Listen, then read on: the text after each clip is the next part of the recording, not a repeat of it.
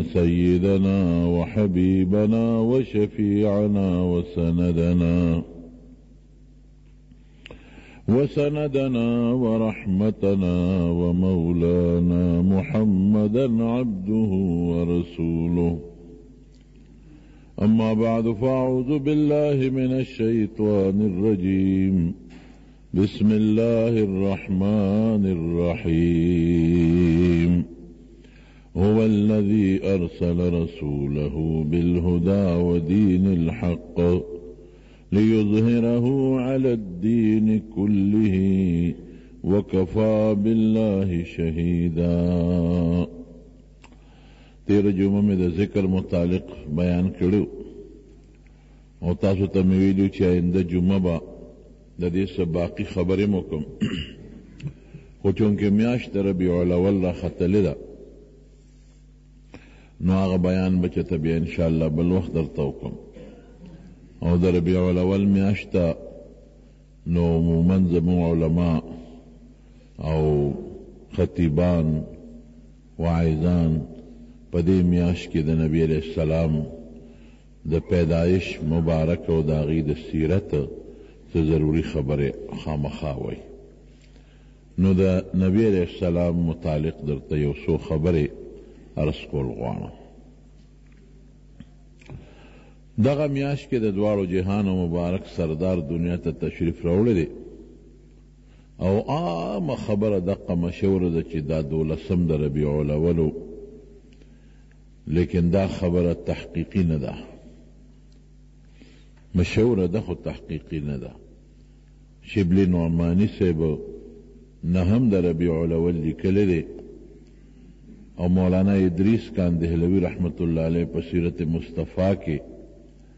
چې کم تحقیق کړی دی نو هغه د اتم ربیع الاول دی میاشت د ربیع الاول ده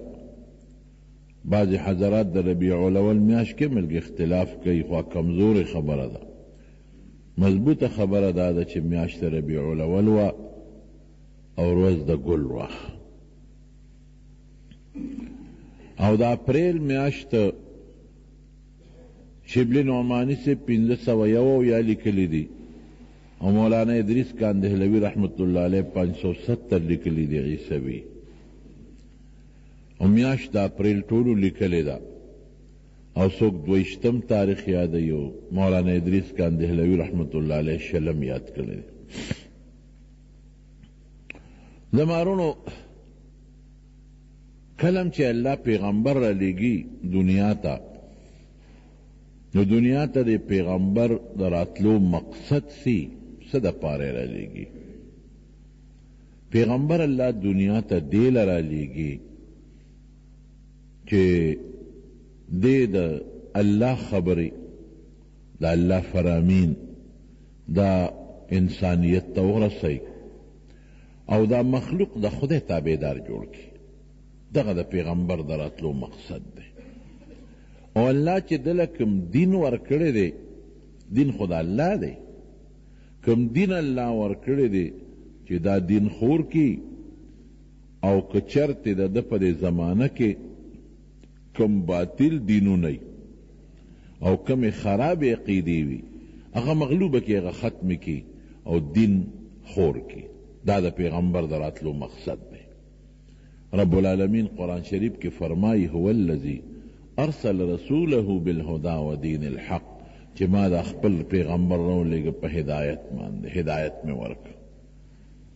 او صحیح ښکلی سچ دین مې ولا ورکړ رښتونی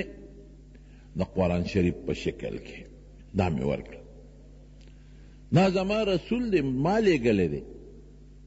او ما ولا ښکلی دین ورکړ رښتونی او ما ولا هدایت ورکړ د هدایت رڼا مې ورکړه څه دپاره؟ ليظهره علی الدين کله چې په دغه زمانه کې کوم باطل دينونه يې هغه پۀ مغلوب کې ختم کړي او دا اسلام او دا دين خدای پاک غالب کړي او خلک په دې عمل وکړي دغه کوم دين چې الله ذوالجلال نبي عليه السلام له ورکړی دی د دې نوم الله پخپله دی اسلام ايښودی دی. وردیت لکم الاسلام دینا الیوم اکملت لکم دینکم واتممت علیکم نعمتی وردیت لکم الاسلام دینا نو الله قرآن شریف کې په خپله د دې دین نوم اغشتی دی چې هغې ته اسلام وایي او خدای پاک دې ته ډېر لوی نعمت ویلی دی معنا څه شوه خپل پیغمبر یې لېږلی دی بالهدا په هدایت او په سچ دين سچ دين څه شی دی اسلام دی سچ دين څه شی دی زما لوی نعمت ته الله وای او څه د پاره مې ولېږه دې د پاره نه چې خلک د دې دین صفتونه کوي او عمل پې نه کوي او خلک د دې پیغمبر مبارک صفتونه کوي او د تابعداري نه کوي او خلک د خدای صفتونه کوي چې دا مې رب د خود خدای تابعداري نه کوي دې د پاره نه ليظهره علی الدين کله چې څومره باطل دينونه دي دا ميټاو شي ختم شي مغلوب شي او د اسلام غالب شي غلبه په څه راځي غلبه په دې راځي چې مسلمانان ټول په اسلام کې داخل شي دی ټول په اسلام کې دن نشي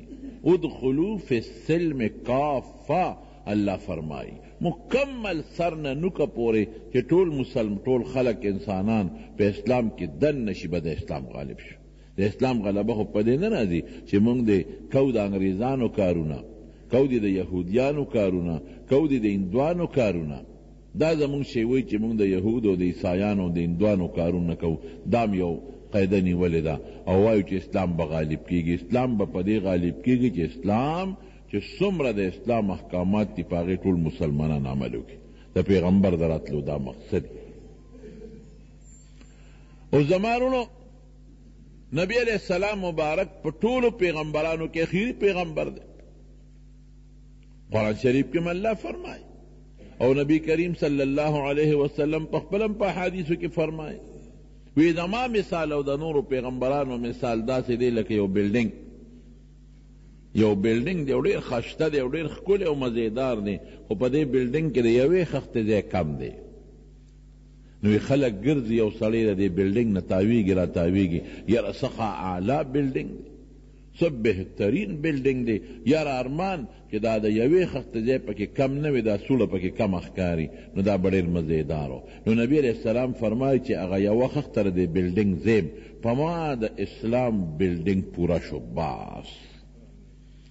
اوس بلډنګ مکمل شو او زما نه پس به بل پیغمبر نه راځي انا زه نبی یم د الله د طرف نه لیږل شوی یم لا نبی بعدی ما نه پس به بل پیغمبر نه راځي نو د ټولو پیغمبرانو اخیری اختتام الله په نبی کریم صلی الله علیه وسلم کو د دې وجې نه الله پیغمبر علیه السلام له ډېرې خوبۍ او ډېر زیات عظمتونه ورکړل او په داسې وخت کې یې راولېږه چې د جاهلیت او د کفر دومره تیارې خورې وې چې د هغې مثال په دنیا کې چته نه و موجود شوی لکه د هغې یو څو مثاله درته اوس ښیم ډاکې او غلاګانې زیاتې شوې لارو باندې به قافلې لوټلې کېدلې مستقل قومونه دې ته پراتو اخو عربو د هغوی زندګی خو ټوله په تجارت وه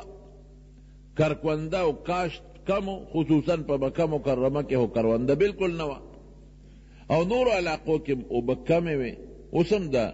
عربو ملکونه چې څومره دي سیګستان سنګستاني دي او د شګو او د کاڼو او د غرونو نه ډکه علاقې دي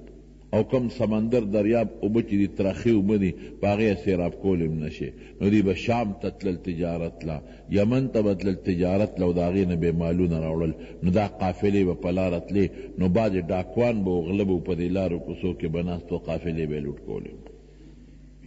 داسې په پټه نه په ښکاره باندې غلاګانې زیاتې شوې وې، ډاکې زیاتې وې، داسې قافله به نه وه چې هغې سره به خپل مضبوط څوکیداران، څونه څوکیداران به قافلې سره دي، یو قوم به پرې غونډ راغی هر څه به یې لوټ کړل ته یې هم مېړه. دا یو د جاهلیت. دویمه پکې د جاهلیت خبره څه وه؟ دویم پکې بدعملي عامه وه،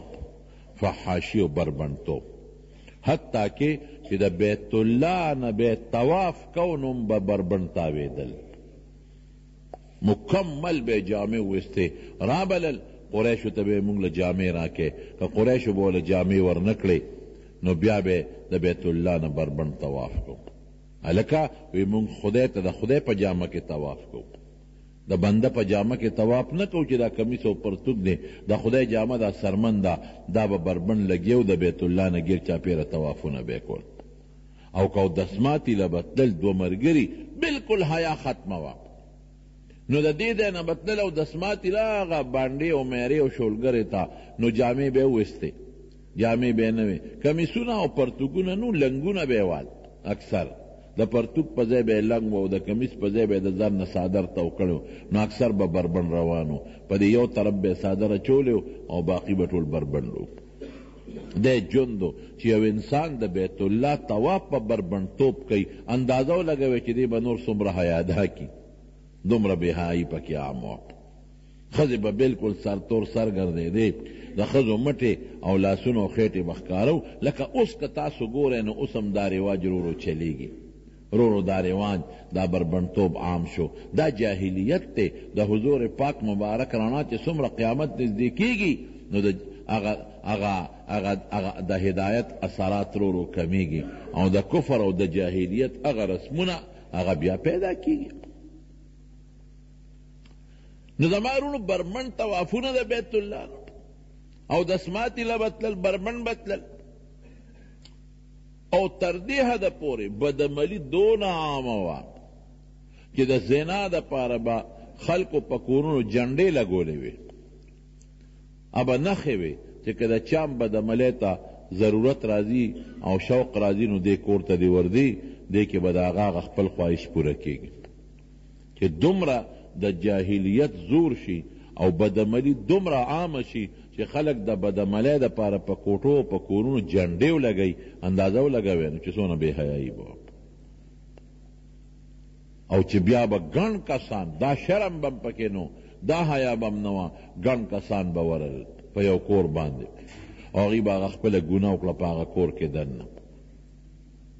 چې ګناه به په کور کې دننه وکړه او د هغه ښځې به کله ماشوم پیدا شو د هغې به بیا مختلفې طریقې وې بخاري شریف کې راځي مختلفې طریقې به وې دا د بیبي عایشې صدیقې رضی الله تعالی عنها واقعه دا خپله بیان کوي ګڼ خلک به ورل په یو ښځه او په یو وخت کې به ګڼو خلکو خپله ګناه وکړه د هغه ښځې چې به کله ماشومه شو نو بیا به یې هغه ټول سړي راوغوښتل ا بیا کینول او ورته به یې وې وې تاسو ته خو خپله پته معلومه ده کنه ما سره هم ګناه کړې ده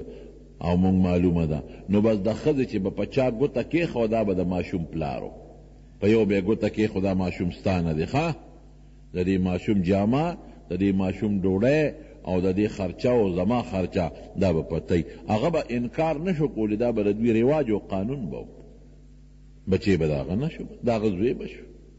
او کله به یې داسې وکړل چې هغه زمانه کې به یو قسم خلک وو علم قیافه به وه د دې لاسونو او د خپو د دې نښو نه به معلومات کول هغه قایف به یې راوغوښته هغه کس هغه ته به یې هم راوغوښته او دا زناکار سړي به یې هم راوغوښتل وی دې ماشوم ته موږ وره او دې زناکارو ته موږ وره چې دا ماشوم د چا نه دی نو هغه به د لاسونو او خپو دا نښې وکتې او د مخ د ماشوم هم او د هغه زناکار هم نو په یو به یې ګوته کېښوده، دا د ده نه دی، بسه به د هغه بچی و. دومره د زنا او د بدعملۍ زور او شور او دومره بې غیرتي به په دغه خلکو کې د جاهلیت د خلکو کې چې دوی به په خپله یو سړي نسب به خراب و او کمزورې نسب والا و، قسم دې زه چې دا بیان کوم ما له پې حیا راځي. ما له حیا راځي خو د احادیثو نه ثابت دي او د عائشی صدیقې رضی الله تعالی عنها د خولې خبره ده او د جاهلیت بیان دی نو ځکه یې درته وایم د هغې زمانې نو عائشه بي بي فرمایي وی چې د چا نسب به خراب او څوک به بیکار او پروت نسب والم نو ښځه به چېرته یو د کلي چې کم خان به یا د کلي د اوچت نسب خاوند نو هغه له به یې ښځه ولېږل چې ته ورسره بدعملي وکړه او زموږ د او زموږ په نسب کې د هغه لوی سړي بچی پیدا شي حیران به شي سر لکه دې زمانه کې خلک سارو سره دا چل کوي ساروی د ښه نسل دپاره لیږي غوا او مېښې او ګډې او چېلې د ښه نسل پيدا کولو لپاره يو خوا بل خوا لېږي. قسم دې دغه جاهليت زمانه کې به خلکو خپلې ښځې د ښه بچي د پيدا کېدو لپاره د اوچتو نسبونو سړو له لېږلې. دا څومره جاهليت ؤ! دې نه چې لږ ورمخکې شې نو خلکو ډېرو خلکو د خپلو سکه خويندو سره نکاح ګانې کړې وې. خپلې خویندې د ډېرو خلکو په نکاح کې وې او دا نور خو پرېږده، ترور پرېږده او چاچي پرېږده او خورزه پرېږده، خپلې سکه خویندې د ډېرو خلکو په نکاح کې وې او چې دین هم لږ ورمخکې شی نو سړی به غوږونه نیسي چې اخ خدایه دا کوم خلک و، ډېر ډېر خلک پکې دو چې خپلې سکه میندو سره یې نکاحونه کړي وو. دومره جهالت دا ولې جهالت زیات شو چې تیاره څومره زیاته وي او بلب پکې بل کې د بلب په قدر سړی پوهېږي که دروازې بلب بلي نو څوک د بلب په قدر نه پوهېږي او که تیاره وي خو داسې مازدیګري وي نو بیا هم د بلب په قدر څوک نه پوهېږي خو چې دا ښه پوره شومه دم شي او ښه پوره تیاري شي او ته پکې بلب بل کې او رڼا شي نو خلکو ته د بلب قدر معلوم شي چې خو دومره رڼا تیاره ختمه کړه نو دا د کفر او د ګمراهۍ تیاره دومره عامه وه چې هغې کې الله پاک د نبي کریم صلی الله علیه وسلم د ذات اقدس په شکل کې یو نور او یو سپومۍ راښکاره کړه چې قدر معلوم شي پته ولګي چې د دې پیغمبر مبارک د برکت نه خدای پاک څومره لویه تیاره د ګمراهۍ ختمه کړې ده. دا خو زمارونو د دې خلکو بې حیايي وه او عقیده څه وه شرک به کو شرک د خدای نه ما سوا نورو څیزونو ته به سجدې لګولې کاڼو ته بوتان به جوړ کړي د بیت الله نه غیر چاپیره درې سوه شپېته بوتان هلکه درې سوه شپېته ولې دي دا مطاف چې ورته خلک وایي او نن سبا پکې خلک طواف کوي دا د درېو سوو شپېتو بتانو نه ډک ده وي د کال ورځې درې سوه شپېته دي د هرې ورځې جدا خدای دی دا یو د دې ورځې خدای دی نن په دې ورځ کې چې څومره کارونه کیږي که چا زوی پیدا کیږي او څوک مري او څوک نا جوړه کیږي او څوک جوړ کیږي او څوک ګټه کوي او څوک تاوان کوي دا هر څه دا یو خدای کوي دا د ده کار دی سبا چې څه کېږي دا بل خدای هغه کوي بله ورځ چې څه کېږي دا بل خدای کوي بله ورځ چې څه کېږي دا بل خدای کوي د کال درې سوه شپېته ورځې او درې سوه شپېته بوتان خدایان د دې چې کم قوم کاڼو ته سجدې لګوي اندازه ولګوي دا شیطان دوی ته خوښ کړی و شیطان د دوی په زړه کې اچو دا کاڼي د دوی څوک و په دې هم تاسو پوه کوم دا بوتان دا د دوی د مشرانو ډیزاینونه وو، تصویرونه وو. په کلي کې چې به کوم نیک سړی تېر شوی و، نو د هغه بت به یې جوړ کړ. په کلي کې چې کوم عالم به جوړ شوی و، د هغه بت به یې جوړ کړ. پیغمبر به و، د هغه بت به یې جوړ کړ. د پیغمبر د زوی بت به یې جوړ کړ. د پیغمبر د ښځې بت به یې جوړ کړ. د پیغمبر د مور بت به یې جوړ کړ. دا به یې جوړول. او څه به وي ګوره دا سوچ دی اوس هم زمونږ د ډېرو خلکو دغسې ورنږدې سوچ شته هغه سوچ نشته خو ورنږدې شته درته به ویم په هغې هم تاسو پوه یوم هغه څه دا د دې سوچ و هغوی به وې چې مونږ دې بوت ته سجده کوو نو دا بوت چې د چا ډانچه ده هغه مونږ نه خبرېږي او اسوک دی ادا خدای نیازبین دی جی غالم تیر شوی دی ابو زرق تیر شوی دی ا پیغمبر تیر شوی دی ا د پیغمبر زوی تیر شوی دی نو چې دته میرام را مکل ارا نه خبر شون د قیامت پر ورځ باغه د خدای په دربار کې زموږ سپارش کوي ما نعبدهم قرآن کې الله وایي، ما نعبدهم الا لیقربونا الی الله زلفی، موږ د دې بتانو عبادت دې له کوو چې دا د چا ډانچېري چې د قیامت په ورځ هغه خلک زموږ د خدای په دربار کې سپارش وکړي او خدای ته هم نږدې کړي. اوس هم ډېر خلک زموږ دا وطن ګوزاره کوي، تاسو لاړ شئ دې پنجاب ته چې پته درته ولګي، زیارتونه له دقې دپاره دي. چې دا نیک سړی او د خدای نیازبین دی او راشه بس ده نه زویم غواړه زوی به هم دی درکوي او بیمارۍ نه جوړول به هم دی کوي او بیماري به هم دی ختموي او پیسه به هم دی درکوي او عزت به هم دی درکوي دغه شی شروع دی قسم په خدای ما پخپله لیدلي دي په لاهور کې چې خلک ورته داتا ګنج بخش وایي، علي هجویري، Alي Hajwiri، رحمت الله علیه دا ډېر نېک سړی تېر شوی دی او بزرګ تېر شو. نېک سړی و، بزرګ و، د هغه په تعلیماتو عمل وکړه. نېک سړی و، بزرګ و، د هغه نېکي او بزرګي هغه سره لاړه. نیک سړی او بزرګ و، که د هغه په نقش قدم ته لاړې نو دا ستا فایده شوه. قسم دې ما په دې خپلو سترګو جومات کې په دې ممبر درته ناست یم چې ما په خپله یو سړي ولیده، قبلې ته یې شا کړه او په ځمکه باندې دغه داتا صاحب ته یعنې علي هجویري صاحب ته مخامخ سجده ولګوله. دا څه جهالت دی د دې خلکو! دا تندی بې د الله نه بل چاته به نه لګي، دا به چاته لګېږي؟ الله ته.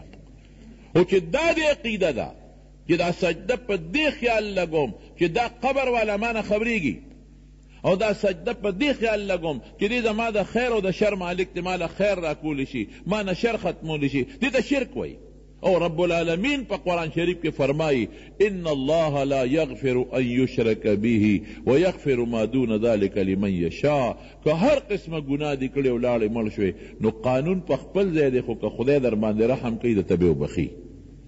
قانون په خپل ځای دی خو که د قانون نه بالاتر الله رحم کوي درته به وبخښي هره ګناه به درته وبخښي خو شرک که ته سړی مشرک مړ شو بس دې کې د خدای رحم نشته دی به لازما همیشه همیشه په دوزخ او په جهنم کې پروت وي چېرته خدای نه بخښي ټول خلق په دا ګناه کې مبتلا دي نن سبا او هیلې باندې ورته جوړې دا هیلې باندې خو د مکین دوانو سره وي ورشه دا ورنږدې شه دي هندستان ته هغوی چې بوتانو ته رام رام کوي دا هیلې باندې دلیل هغوی سره هم شته بې دلیل هغه هم نه دي لګیا هم دقه وایي چې دا بوت ته چا دی دا د فلانکي دی ګوتم بت دی ګوتم بت خو ډېر لوی سړی و، جي، او ډېر نېک سړی و او د خدای ډېر مقرب انسان و، نو چې دې بت ته سجده کوم، هغه ګوتم بت ما نه خبرېږي، هغه به زما په درباز کې سفارش د الله نه کوي؟ دا بت د ډېر لوی نېک سړي تېر شوی دی، جي، هغه نېک سړی څوک و؟ دا د هغه د زوی بت دی، هغه به د خپل زوی سفارش نه کوي؟ ما به هم کوي. لمونځونه نشته، روژې نشته، هېڅ هم نشته، زه تللی وم یو کال، لاهور ته دغه د ربیع الاول میاشت وه، یو ګاډي والا سره ډرایور سره په ناست وم، نو زما لا خیال نه و چې هغه هلته کې ځای په ځای څه به په دوکانونو نو په بلډینګونو نو څه به په څه ورته ویل کېږي په بازارونو کې دا چراغان دا بلفونه او پړقا پړوقې او ټوله شپه ښځې نر داسې نیم عریان بربنډ په دې سړکونو ګرځي. نو دا جلسې دي او جلوسونه دي او لوډ سپیکرې دي او نعتونه دي او غوبل دی هغه ډرایور چې نو کنه هغه ځان سره پنجابیا کې لګیا او سره علاقه و ما خیال نو شپه زموږ یو بل ځای کې وه نو ما غرن تپوس وکړ هغه ډرایور نه مې دا څه چل دی هم کو پته نه داسې تعجب یې وکړ میں کیا عید میلاد النبی اور لگ گیا میں نماز پڑھ لیا نہیں نہیں نہیں نماز پڑھیں گے کوئی بات نہیں مونږ نه نه خبر ناولیا استنجا دې نه ده کړې چارادام دې نه ده کړې مونږ نه نه خبر بس صرف په دې خوشحالېږې چې ما بل بلفونه ولګول په دې به دې خدای بخي اطیعوا الله و اطیعوا الرسول قرآن وایي زه نه وایم چې د خدای او د رسول تابعداري وکړه هله به بخښل کېږي قسم په خدای که ته د روځی پنځوس کروړه کره ته ووای چه زه د پیغمبر علیه السلام امتی یم او زما په پیغمبر علیه السلام سره ډیره زیاته مینه ده او په کورونو کی د دنیا چراغان کئ خو لمونځ نه کئ روژه نه نیسئ د پیغمبر تابعداری نه کئ نشته به خیر بخښلی.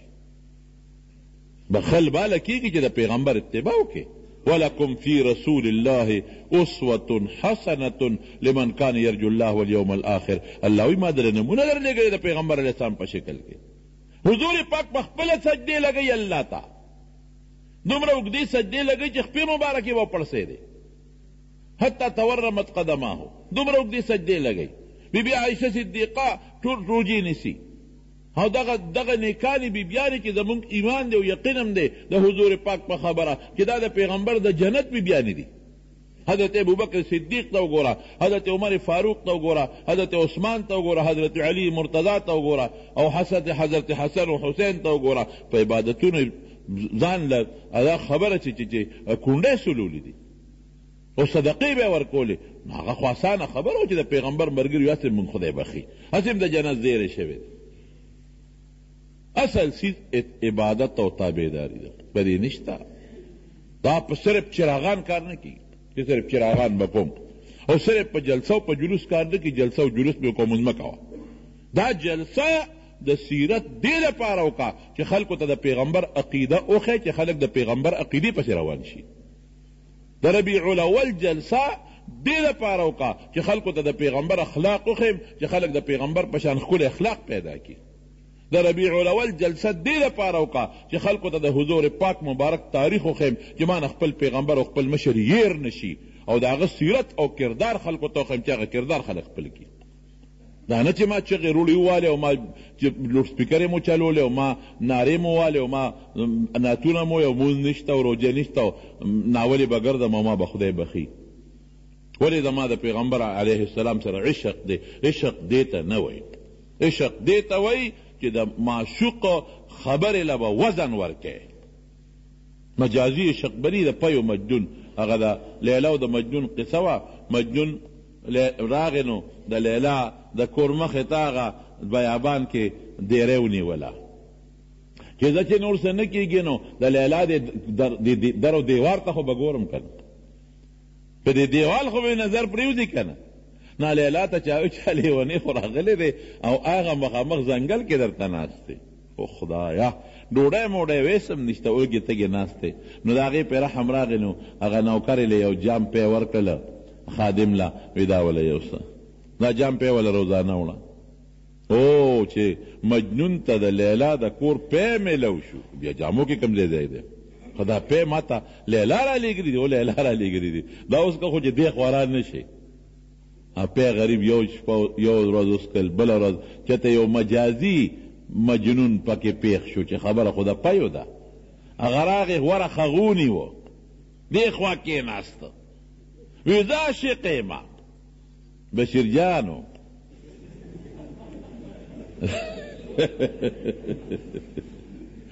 بشیر جان په مونږ رښتونی حقیقي عاشق دی خدای دې خوشاله کړي هغه دې خوا ته ځای ونیوه او اذا شقیمه هغه پی به هغه نوکر چې وړل هغه مجازي ورته لار کې ناست نو چې ورخ ته څوک نږدې وي خو به هغه ځي نو به هغه څکل هغه غریب دقسې هغه اصلي مجنون پاتې شو پی به دله زم عاشق یم عاشق دړی لکه دې زمانې د عاشقات مجازي لیلا چې څو ورځې پی ولېږل هغه نوکر ته ویو چل وکړه په دونه موده دې مجنون دا پوس کړ اوس یې ګورو چې واقعي حقیقي مینه شته او که مینه نشته وي دا جام نن د پیو موړه دا یو سه او دې دا پی چې اوس کړ دې مجنون ته وایه چې لیلا وینه پکار ده دا جام راله ډک راکړه اوس پته ولې چې پیو لیلا سه او که نه ما سره مینه هم شته چې کوم مجازي چا چې پیس کلی ټول عمر چې جام یې ولا یوړه ورته وی دا څه دي جام وی لیلا راکړې وینه غواړي وی پی راوړه پی پی راوړه وی وینه غواړي ملل شه وینه غواړي پی راوړه تګې اوګې ما نن یې پی جوړ نه دی درکړی وی وینه غواړي نو شاته یې ګوته ونیوله وینې وینې والا هغه لیونی شاته ناست دی زه پیو والی یم پیو مجنون راوباسه هغه غریب خو یو ورځ دو پیس کړي باقی خو ده والي چې هغه له جام یوړه وی لیلا وینه غواړي وی وینه غواړي وی بس زری چاکو رو وستنه رو وستل او په دا مخ کې ومنډله د دې مخ دا به خوخی نو روي وستته یاره د دې لاس تا به خوخی نو یو یو اندام کې به شي منډه او دا غې نه به وینه لستل د دې اندام به نه خو د دې به جام ولا ډک هله شابه زر ولا وړه دې ته حقیقي مجنون وایي په یوه لانه نو چې دا صرف په دې میاشت کې چغې روړي ووایي که نه او خلکو ته ځان ښکاره کړي ریاکاري وکړي چې زه خو عاشق یم او نور میاشت کې مونځ نشته روژه نشته صدقه نشته دین پسې خبرې کوي کور کې دننه ښځې بربنډې ګرځي او ټوله ورځ په انټرنیټ باندې او په موبایل باندې پردو ښځو تصویرونه او فلمونه ګوري رښتیا وایه دا د پیغمبر تابعدار دی تاسو وایه دا دوکې والا دا هغه پيو والا مجنون دا حقیقي مجنون نه دی حقیقي خو به د پیغمبر تابعداري به کوي دې د پاره الله پیغمبر را لېږلی دی دې د پاره را لېږلی دی چې هغه دین په نورو دینونو غالب کی او ما درته وي د دین غلبه څه ده چې زه او ته سر د واله خپو پورې سر نه واله تر خپو پورې په دين کې ډوب شو. د هندوانو رسم به نه کوو، د عيسايانو رسم به نه کوو، د يهوديانو رسم به نه کوو، سر نه خپو پورې به مونږ په اسلام کې دننه کېږو، دا د دين غلبه ده. د دين غلبه په دې نه کېږي چې کتابونه وليکم، د دين غلبه په دې نه کېږي چې زه د خلکو پسې تقريرونه وکړم او عمل دې پرې نه کوم او نه دې پرې تاسو عمل کوئ، غلبه به په عمل راځي. نو زما رونو خبره مې دې پورې کوله چې نبي کریم صلی الله علیه وسلم په دې میاشت کې یا په بله میاشت کې سیرت بیانول یا د هغه تاریخ بیانول یا د هغه کردار بیانول یا د حضور پاک عقیده بیانول دا عبادت دی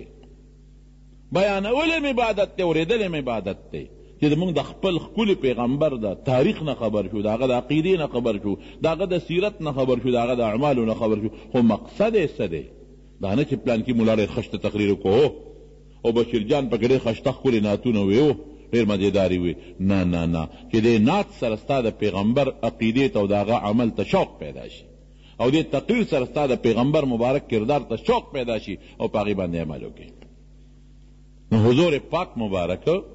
دغه دغه د دې خلکو عقیدې وې د دغه مشرکانو نن دقه تقریبا زموږ دا وطن ګزاره کوي څوک دا زیارت ته خدای وایي که په خوله ورته نه وایي خو هغه عمل ورسره کوي چې کوم خدای سره پکار دی بچي به موږ د چا نه غواړو زه رښتیا راته وایي او چې کله ناجوړه شو نو موږ به شفا د چا نه غواړو او که پیغمبر علیه السلام بیمار شوی دی نو شفا چا وکتل چې میوې وله راځي د جمي په اوړي کې او د اوړي په جمي کې نو زکریا علیه السلام بوډا دی بچی نشته دی نو څه وایي الله ته او مریم دا میوې د کوم ځای نه راځي دا د خدای د طرف نه دا مالا د الله د طرف نه راځي ان الله يرزق من يشاء بغیر هنالک دعا زکریا ربه چې دا وکتل چې او الله ته خو د جمع میوه په اوړي کې او د اوړي میوه په جمع کې ورکه نو ته خو به مال به موسم بچی هم راکه هنالک دعا زکریا ربه نو زکریا علیه السلام التا چاته سوال کوي الله ته خدایه مال هم بچې راکړي نو خدای ولا بچې ورکړي حضرت ابراهیم علیه السلام چاته سوال کوي رب هب لي ها هلته زکریا علیه السلام ابراهیم علیه السلام او نور پیغمبران چاته سوال کوي الله ته سوال کوي رب هب لي من لدنک ذریه طیبه انک سمیع الدعاء الله ته به غواړې رب هب لي من لدنک ذرية طيبة خدايه ما له يو پاک روحاني او خشته بچې راکې انک سميع الدعاء خدايه دعا اوريدونکې ته يې ډير زر اوريدونکې او قبلونکې او دعا قبلونکې يې د دعا قبلونکې او زما د اواز اوريدونکې ته او چې کله په حضرت ايوب عليه السلام بيماري رااله نو رښتيا وايه د بيمارۍ د پاره سوال چاته کړی دی الله ته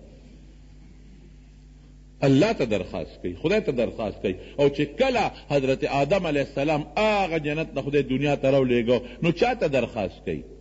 وایه لکه چا ته کوي ربنا ظلمنا انفسنا وان لم تغفر لنا وترحمنا لنكونن من الخاسرين دا پیغمبران دي نیازبین پیغمبر دی ټول نیکان اولیاء او صالحان یو ځای کا د ټولې دنیا نیکان صالحان یو ځای کا قسم دې که د پیغمبر مرتبې ته رسیږي پیغمبر لوی مرتبه ده او پیغمبران چاته سوال کوي الله ته کوي و یمسسک الله بدر قران وی زنویم فلا کاشف له الا هو که تکلیف دته اورسه دا تکلیف ختمون کې سوکته الله و یریدک بخیر فلا راد لفضله او که الله راته خیر رسول غواړي دا خیر څوک بندولی نه شي عقیده به دا ټیټ عقیده وساته ګورې که معمولي دې په عقیده کې کجلیچ راغی چې نه دا بیماري خو ما نه دا پلان کې هم لرکولی شي او دا تکلیف خو ما نه پلان کې هم لرکولی شي لاړه عقیده د شرک اسباب جدا خبره ډاکټر به درې علاج کوي خو ډاکټر دنه بیماری لر کولی نه شي به دنه څوک لر کوي الله عالم به راته دعا کوي ساخت به هم کوي تعویذ به هم درته کوي خو دا به نه وي چې دی مولا جوړ کړم او دی عالم جوړ کړم او دی پیر صاحب جوړ کړم جوړونکي به څوک یادوي الله به یادوي دا به زموږ ستا عقیده خدای نه به بچی غواړي خدای نه به بیماری جوړېدل غواړي خدای نه به شفا غواړي الله ته به خوله وازی او چې څومره دې حاجتونه دي نو په حاجاتو کې به پروردګار ته خوله وازی بل چاته به خوله نه وازی دا به عقیده وي نو هغوی ظالمانو دا شرکي عقیده وه صاحب بوتانې کینو او بیا د خره بچو ته ګوره هندوان د خره بچي خر په حیواناتو کې قمقل حیوان دی خر کمعقل ته په دې لاره کې نه ګورې په دې سړک د پاسه به ولاړ وي ګاډی به پرې نېغ راشي او دی به ورته په دې سترګه داسې په شا ته لږه غوندې راتاو شي په دې یو سترګه به ورته داسې په شا ګوري دې دې دې ګاډي ته وایي چې ته خو رانږدې شه چې برغې لتې در کوم او که نه در کوم چې ګاډی پرې راشي نه خري او نه لته بیا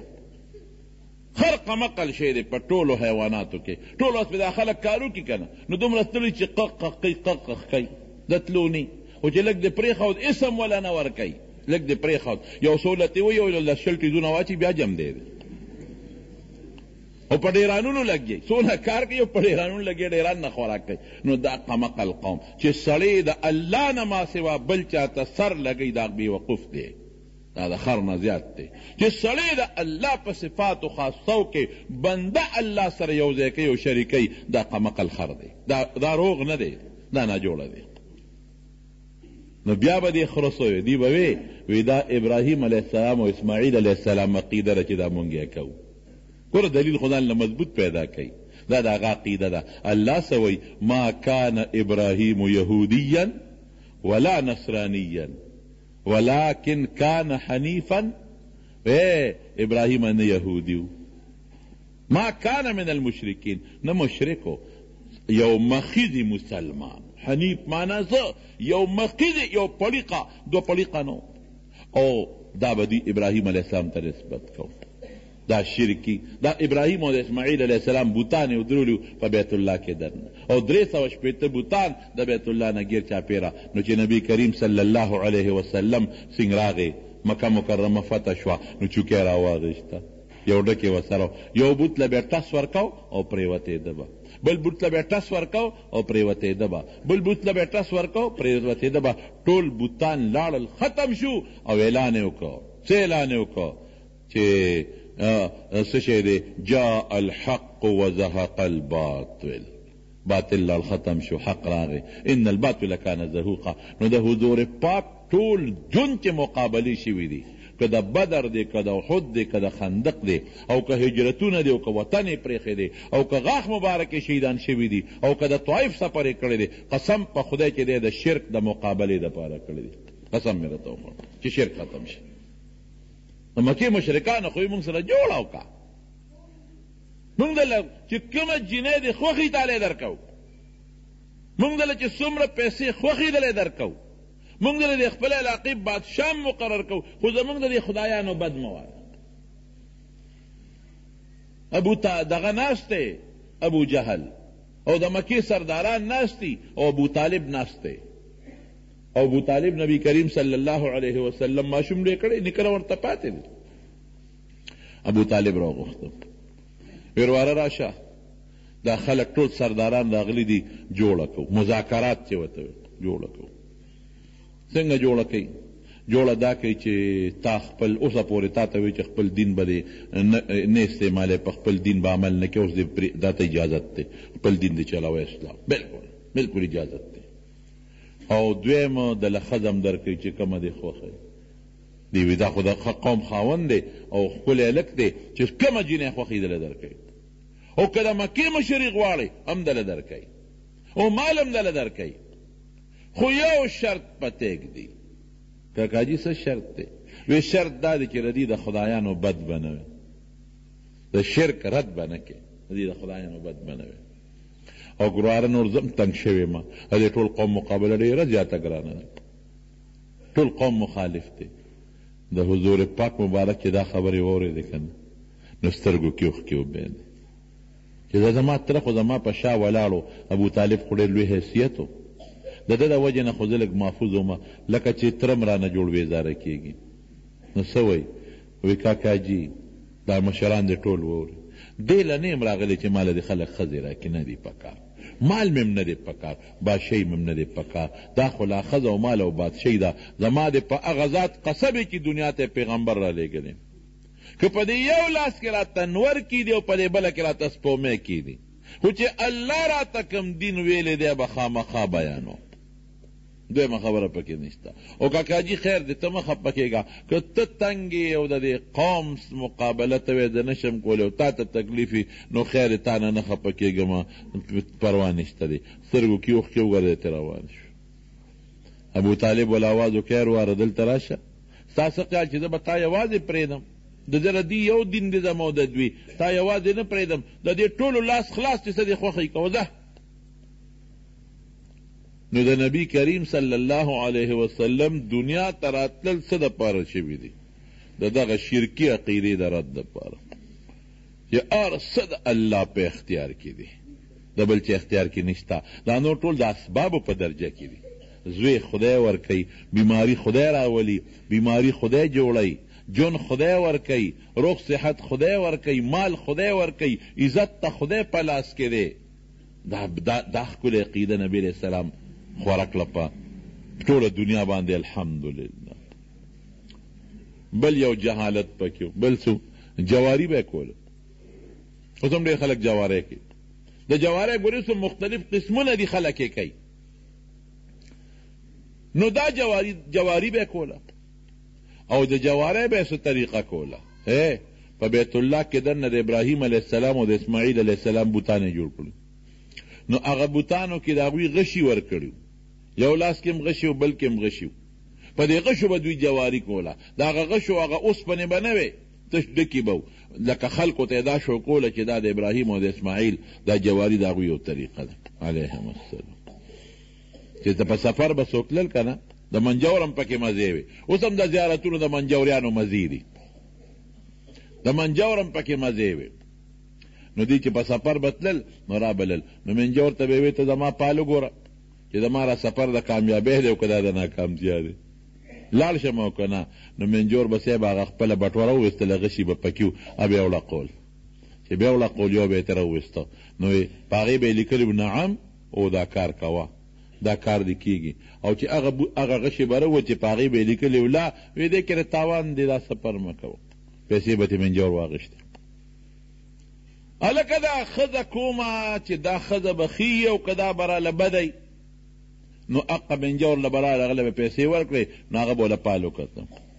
هلکه دا کار وکم او که دا ونه کوم نو غشې بیا وړقه نو که به پې لیکلو چې امرني ربي خدای مې حکم کړی دی نو دا کار کوم او که چې نهاني ربي چې خدای مې منې کوي دا کار نه کوم داسې به یې وکړل لس کسه به یو ځای شي اوښ به په بیه واغېشته نو بیا به یې اوښ حلال کړ نو د هغې به یې حصې د غوښې لکه څنګه چې قربانۍ کې خلک تقسیم کوي داسې حصې به یې جوړې کړې نو ځکه اوس خو مونږ حصې برابر جوړې کړو نو هر یو ته خپل حق ورسېږي حصې به یې جوړې کړې نو هغه منجور کاکا به یې راوسته غله به یې پیسې ورکړې چې په هغه پیسې به یې ورکړې، نو هغه ته به یې پال وباسه، نو هغه به غشي وړقول، نو چې غشی به راووت، په هغې به یې یو لیکلي و، نو دا چا په نوم راوباسم، د پلانکي په نوم، خو غشی راووته، په هغې یې یو لیکلي دي، وي ستا یوه حصه راته دا وړه، هغه حصه به پاو وه، نیم پاو وه، هغه به لاړ، بل به یې وړقاو، د چا په نوم راوباسم، د پلانکي په نوم، نو چې د پلانکي په نوم به غشی راووت، په هغې به یې لس لیکلي و، وي ته پکې لس حصې وړه.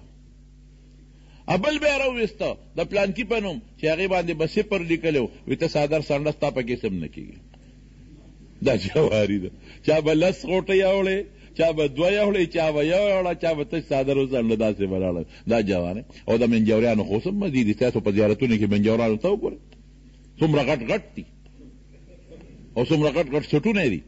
داسې څټونه غټېږي، څه داسې غټېږي. دا خلک ولا سیدونه څوک ولا ګډوډه څوک ولا دلته کې اخ دا خلک اق عقل نشته جنو چاته عقل ور دلته غریب ګوټ کوي مزدوري کوي چاري کوي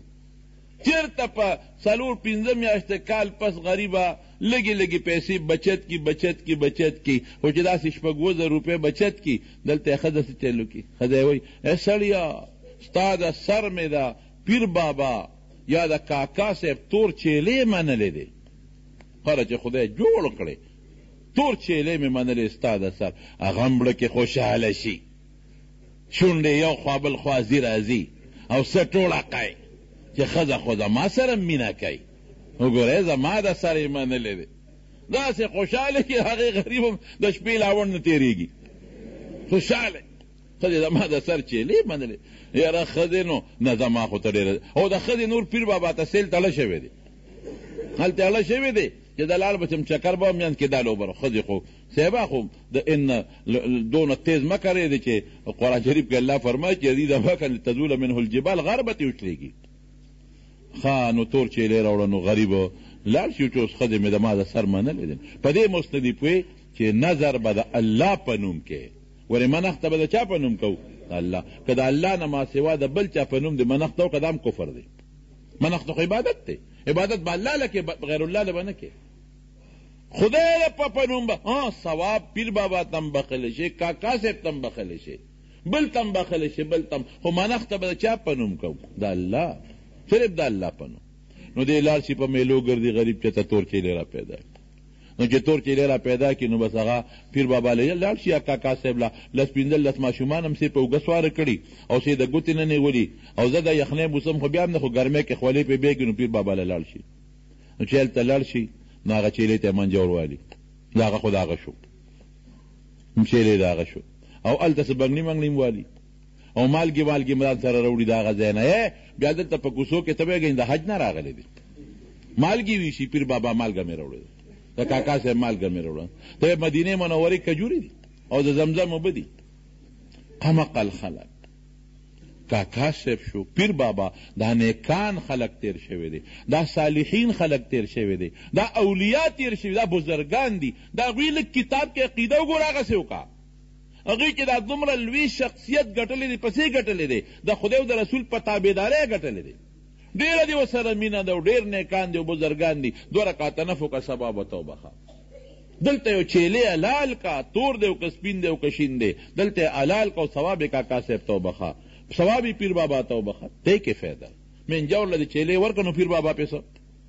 او مینجور له دې ورنه کړو د پیر بابا پې څه مینجور چیلې واغېسته خوشحاله شو چې دا او دې ته نه ګوري هم ظالمان هم دې ته نه ګوري پټې غوندې دوه درې مالګې وله ورکړي ځه د مدینې منورې کجوره کور ته وړه زما روڼو دا به زمونږ د نبي دا جواره او دا قصې اوس هم دا په پېښور کې بعضې خلک دا پالونه مالونه ګوري څوک مرغو والا هلته ناست دي یو ځل تلم د مریض تپوس مې کو دی بالیسار سره تیز روانم یو سړي مې خپې ته لاس ور واچو هیله کار یې راغورځېدلی وم، قدم مې تېز و، ودرېدم، وی او اورېږه چې وی قسمت ته له ښه کم،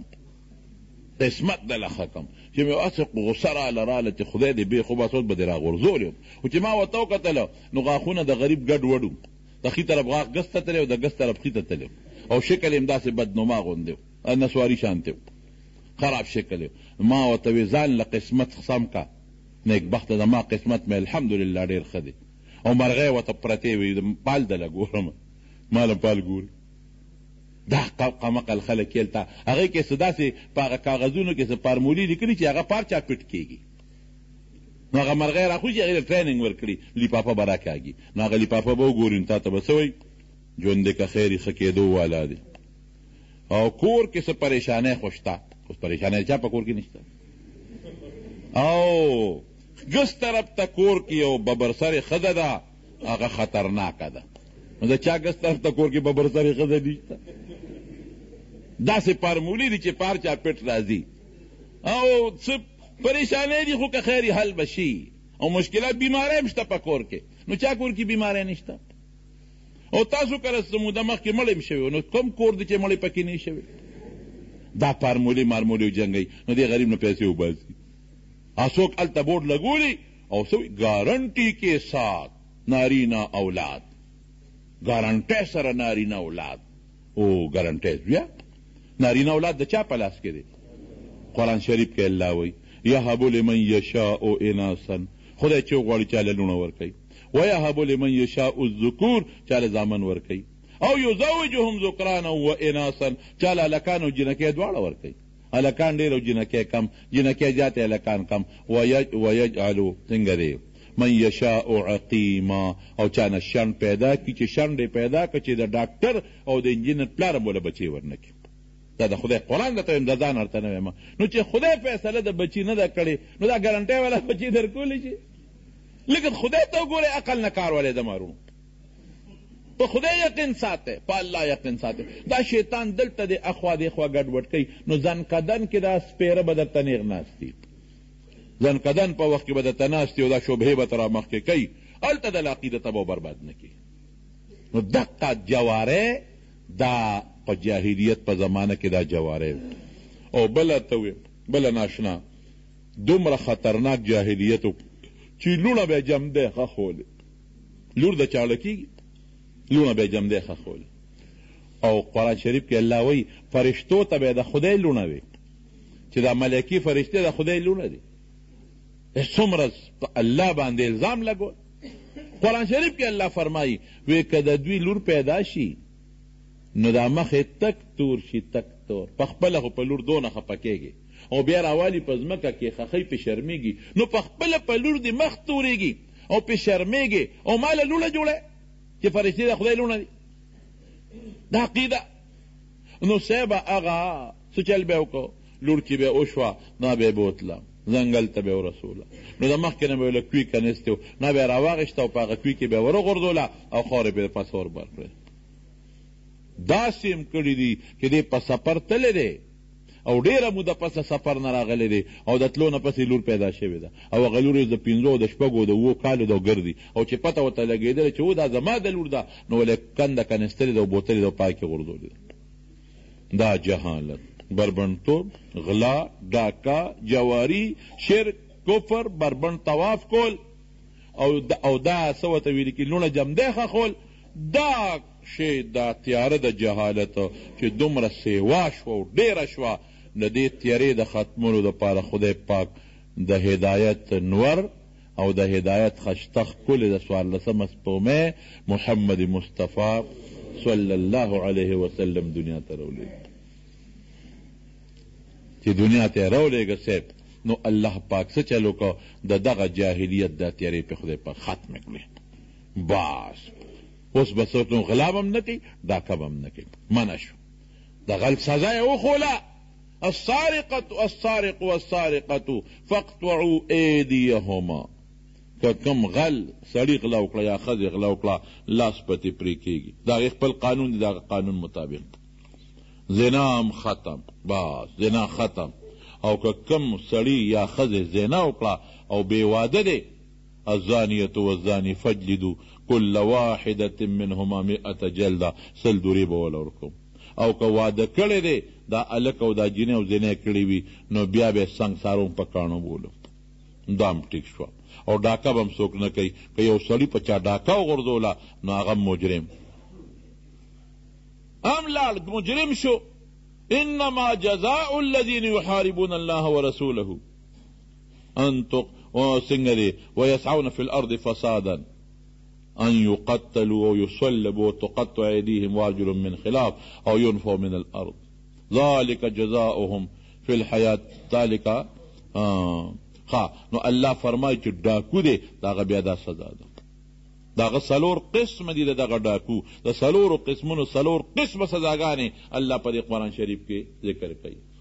ذلک لهم خزی فی الحیاة الدنیا ولهم فی الآخرة عذاب عظیم هغه له به بیا لاس او خپه به ترې پرې کوې یو لاس ښې لاس او ګسه خپه یا ګس لاس او ښې خپه او یا به یې وجنې او یا به په دغه کې ده په سولی کې به یا به ده جیل کې چې د وطن نه به شړې د ډاکو دا حکم او جواری خو ډېر لوی جرم او ګناه ده میسر جواری ازلام من رجس من عمل الشیطان دا شیطانی عمل دی او دا ګندګی ده او نجاست دی غلاظت دی دې نه به ځان ساتې او د خور احترام شو نکاح کې بنالې د مور احترام شو نکاح کې بنالې د لور احترام شو قدر بکې رحمت دی لور لور قدر بکې عزت بکې احترام بکې لور سره جمده بنخخه نبي کریم صلی الله علیه وسلم یو ځل کور ته راغی، بي بي عایشه صدیقه ناسته وه. وی د الله رسوله یو ښځه او ورسره دوه ماشومان یې وی سوال یې وکړ نو وی ما سره هیڅ هم نه و ما سوا د یوې کجورې نه یو کجوره وه نو هغه مې وله په مین مې ورکړه هغه ښځې له نو ښځې په مین نیمه کړه نیمه یو لور له ورکړه او نیمه بل لور له ورکړه او په خپله یې سم ونه خوړل مور خو په اولاد باندې مهربانې کنه حضور پاک وفرمایل چې چا له خدای پاک دوه لوڼه ورکړي او دا مور یا پلار د دې دوو لوڼو تربیت وکړي او رحم پرې وکړي الله به د دې دوو لوڼو د رحم په برکت دې مور او پلار له جنت ورکړي. ګوره په شریعت کې د لور باندې د جنت ذکر راغلی دی. بل ځای کې راځي چې چا یوه لور ده او د هغې لور تربیت وکړه او خدمت یې وکړه الله به له جنت ورکړي. زه اکثر طالبانو ته وایم وایم چېرته په حدیثو کې ما نه دي لیدلي که وي وي به زه دعوه د علم نه کوم که وي وي به خو چرته ما دا ونه لیدل چې که د زوی تربیت ته وکړه نو خدای به جنت درکوي او په لور د جنت زیری شته که لور پیدا شوه او ده یې ښه تربیت وکړه نو خدای پاک به له جنت ورکړي ګوره خلک وي اسلام ښځو له حقوق اسلام ښځو له حق ورکړ جاهلیت کې به یې ښځې ښخولې جم دی حق ولی اسلام ورکه میراث یی وله ورکه اوی د ښځی خو یی نیم میراث دی د سړی په نسبت ما وی بلکل نیم میراث د سړی په نسبت شته خو په دی ذمه داری نشته ذمه داری په سړی ده ته خو خیراتی وله نیم میراث د هلک په نسبت وله نیم ورکه دا خو په کور کې ناست سره ګټه وډه خو به دا نه کوي دغه به وله کوي خاوند به وله کوي پلار به وله کوي رور به وله کوي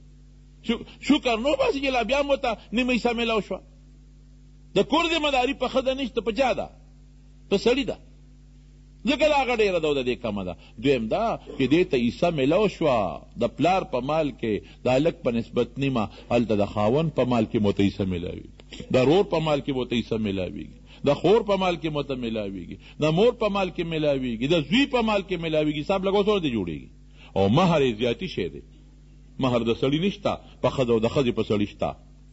نو څه کوم ځای ته خبره ورسېدله او جهیز هم شته پلار به هم د واده په وخت کې وله خامخا ساخوا دېخوا کوي نو عزت خو د حق خو قرآن او پیغمبر او اسلام ښځې له ورکړی په بل دا حق خو نه غواړم چې دا کم یورپ وله ورکړی دی یورپ د ښځې څه حق ورکړی دی ښځه به ځان له ګټي چې اسلام وایي نه خاون به وله ګټي هلته دا نشته تاسو لاړ چې جاپان کې او په امریکا کې او په دغه ملکونو کې وګورئ هلته به هوټل ته ماته یو سړي خبره کوله جاپان ته تللی و، هوټل ته به خاوند او ښځه دواړه ځي یو ځای، ښځه به ځان له خوراک رالي، خپل بل به ورکوي، خپلې پیسې، او خاوند به خپل بل ورکوي. دا نشته دی او ښځه به ځان له خپله جامه الي، خاوند به ځان له خپله جامه الي، ښځه خپله ډیوټي کې ځان له تنخوا اخلي او خاوند خپله ډیوټي کې ځان له به تنخوا اخلي. دلته خو مونږ غرق او تباه کړو. جامې هم وله راوړه او ډوډی هم وله راوړه او پیزارم وله راوړاو صاحب بنینونم وله راوړاو یخ او ګرم سیزونم راوړاو په هغې کې هم خپه دي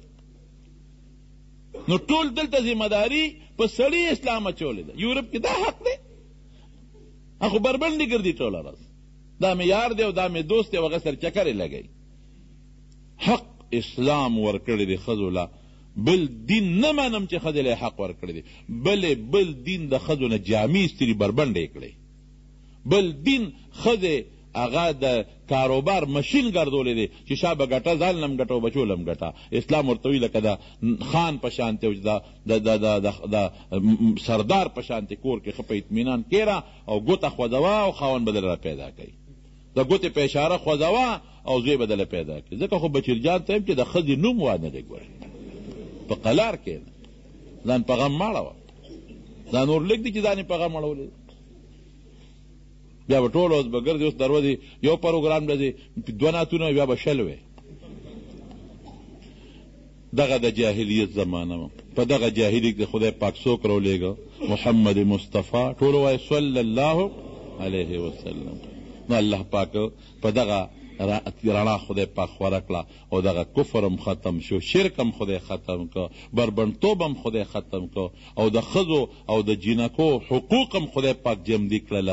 ډاکی هم ختمی شوی بی پردګی هم ختمه شوه بی حیایی هم ختمه شوه او حیا هم راغله او باقی ان شاء الله د نبی سم د پیدایش متعلق څه خبری اتری دی آینده جمعه کی به بیان کړم ټول یو ځل درود شریف ووایه صلی وسلم علی سیدنا محمد موبایل غشتل خرڅول جایز دي او کنه د ما د موبایل کاروبار بالکل موبایل غشتل هم جایز دي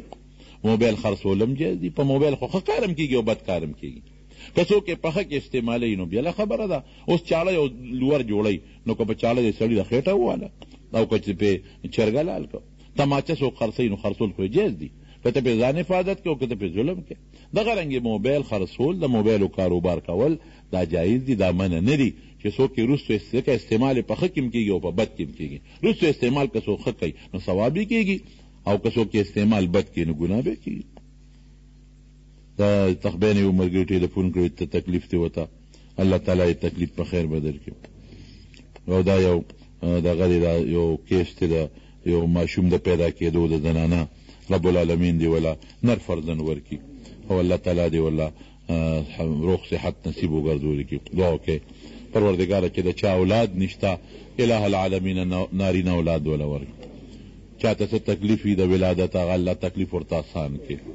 پروردګاره چې د چا بیماری دي الله ته ټولو مریدانو له شفا ورکړي خدای که څوک تنګدسته دي فقیران دي ته ورته حلال و فراخه روزي ورکړي الله زموږ په زړونو کې او زموږ په رګونو کې د نبي علیه السلام محبت او عشق حقیقي عشق کېښودل کړي او موږ د حضور پاک تابعدار جوړ کړي په دې د شرکیاتو، کفریاتو، رسوماتو، بدعاتو، بربنډتوب، بې حیایۍ، جوارو او غلا غلطۍ او ډاکو د جرمونو ګناهونو نه په امن او امان کې وساتي. زموږ څو دوستان دي په دې کارخانو، مارکیټ، کې سارې ټیلیفون کړی و. یو کس ته څه بیماری ده الله دی وله شفا ورکی یو کس مور وفات شوی ده الله دی مغفرت نصیب کی پیښور کی یو بل دوست ته مور یې وفات ده الله دی مغفرت نصیب کی او زموږ په دی عمرزو کی ده مولان الیاس صاحب دی والده وفات شوی هغه ته هم دعا وکړی چی خدای پاک یې مغفرت نصیب کی څومره مردګان وفات دی الله ټولو مغفرت نصیب کی خدای موږ ته ده اسلام اوردین هدایت نصیب کی او ده ګمراهو نه هم په امن کی وساتی اخر وخت کی هم په خولی ده کلمه نصیب کی چی لا اله الا الله محمد